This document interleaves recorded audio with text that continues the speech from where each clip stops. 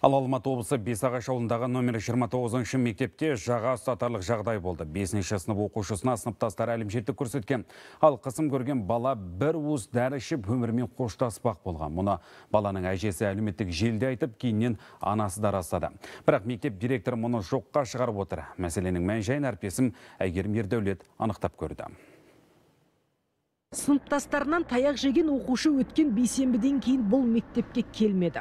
Анасының айтуынша баланы екі сыныптасы дәретханаға кіргізіп әбден сабап қылқындырған. Сондай ақ дәретхана суына кәмпит салып, оны баланың аузына зорлап тыққан, тіпті шашын қиып тастаған. Анасы мұндай қорлыққа шыдамаған ұлының 10 дана дәріні бірақ ішіп өмірімен қоштасқысы келгенін айтты. Я когда пришла домой, он Мен үйге келсем, балам сандырақтап жатыр. Ол еденнің қайда, қабырғаның қайда екенін түсінбей, дел сал күйде болды. Жедел жәрдем келіп, екі сағат асқазанын тазалады. Содан кейін ауруханаға жеткізді. Мен Талғар аудандық полициясына арыз түсірдім. Мектеп директоры сол арызды қайта ал деп 200 мың теңге ұсынды. Қазір мұғалімдер де келіп, маған қысым көрсетіп жатыр. Өзіне қол салмақ болған бала тіпті қоштасу хатында жазған. Мәселенің мән жайын анықтауға барған тілшілер тобы арнайы келген комиссияның да пікірін білді.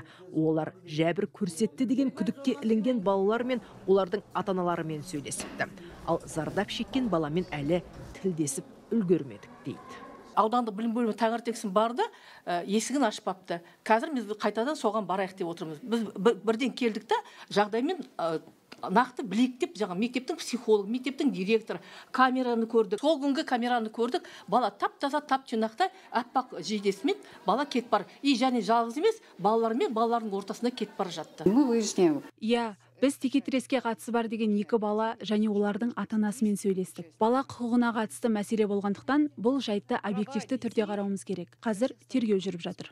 Жәбірленген баланың анасы соңғы екі жылдан бері ұлының ара тұра көгеріп келгенін айтса, мектеп директоры жоққа шығарып әлек. барлық жерде елу екі камера орнатылған барлық ә, жаңа коридорларда барлық пролеттарда есіктің алдын түгел бақылап отырамыз енді 1800 бала жүрген жерде баламыз ғой итеріп жібереміз ә, болып қалуы мүмкін Ә, бірақ енді ол жаңағы дөрекілікпен әдейі қасақана істелінбеген Бірақ 52 камераның бірде біреуі тура дәретхананың алдына қойылмаған. Атана сыныптың ішінде де бейне бақылаудың жоқ екенін айтады. Ал соны білген сотқар балалар әлімжеттікті қай жерде көрсету керектігін жақсы біледі дейді жәбірленуші тарап.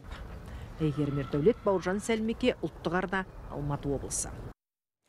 Оқу ағарту министрлігі осы жайттан кейін арнайы жұмыс тобы құрылғанын хабарлады. Бұл оқиға балалардың құқығын қорғау комитетінің бақылауына алынған. Сондай облыстық білім басқармасынан бөлік министрлік өкілдері мектепке барды.